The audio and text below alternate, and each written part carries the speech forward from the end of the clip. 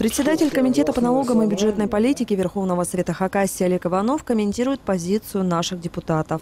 Поддержки у народных избранников попросили их коллеги из Псковской области. Это инициатива налоговых органов наделить их полномочиями, самим выносить решения в отношении должников за неуплату штрафов, пеней и налогов и сразу же передавать дела приставам. В этом будет заинтересован любой суд Российской Федерации, потому что с него снимается нагрузка.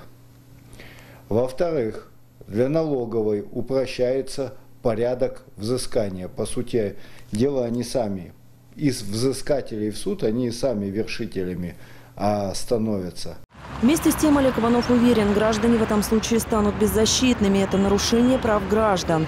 Во-первых, 5% судебных решений в России отменяются. А во-вторых, неизвестна позиция приставов. Готовы ли они принять на себя дополнительный груз работы.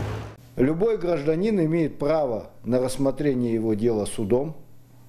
Вот. В суд может дать оценку доводам и взыскателя, доводам и гражданина.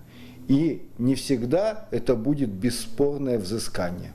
Кроме того, депутаты считают, что такая инициатива увеличит количество жалоб на действия приставов. Ведь бывают случаи, когда должник уже погасил все долги перед налоговой, а ему до сих пор их приписывают. Катерина Ирушина, Полина Назарова, Дмитрий Парахин, РТС.